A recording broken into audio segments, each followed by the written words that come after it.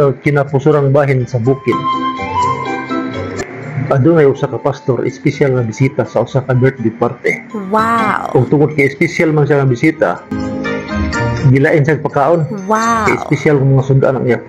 Wow. Espesyal nga putahe sa bukid. Sinabaw nga udong,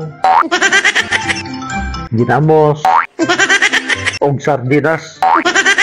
Man, pagkamagkaon sa usa ka pastor, Midungaw kini si Bintana ug nakita niya ang mga tawo nga nanambon sa birthday party nga nagbudol fight at bangan sa usa ka dakong litson baboy ug daghang mga latang sayang manok. Ug dali kini nananghid ngadto sa imbitar kaniya. Nagkadayon. Eh, Brad, Muli na ko, Brad. Salamat kayo sa imong pag-imbitar sa ako, Brad. Ah, sige, Pastor. Salamat po, Pastor, sa imong pagbisita. Ah, Brad. Padili pa ko mulakaw.